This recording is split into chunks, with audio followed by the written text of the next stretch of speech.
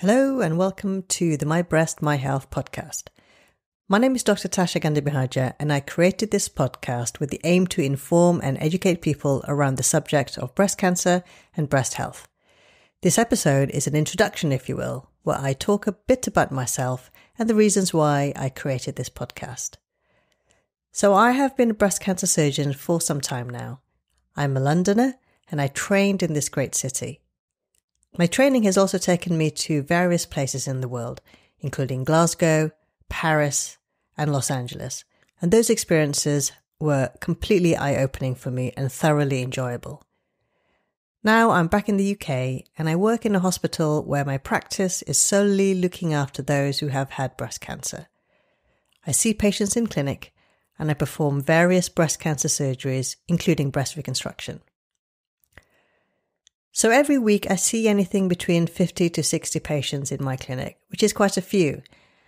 And because of the number of patients I see over the limited amount of time that I have, I just didn't feel that I was able to give all the information and advice that I would like to. And this kind of frustrated me. I also know that the internet is the first place where people go to try and figure out what they may have and self diagnose. And to be honest, Dr. Google has a lot to answer for. Yes, a lot of useful information can be found out there. And without a doubt, there are numerous great websites and portals where you can get reliable and accurate information and advice. But at the same time, there is a lot of misleading information, and so unsurprisingly, many get confused and misinformed.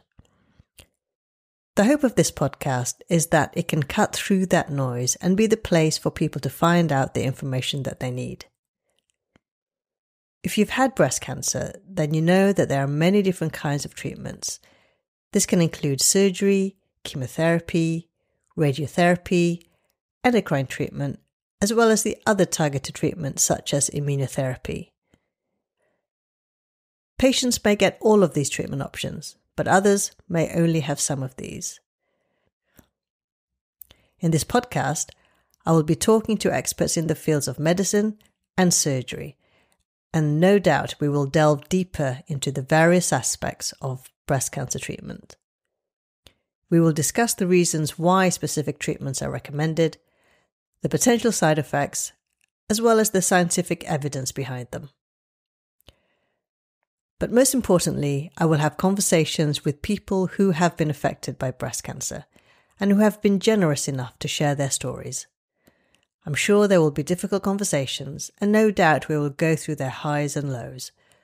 But hopefully, by sharing stories, we can learn from each other, inspire one another, and support each other.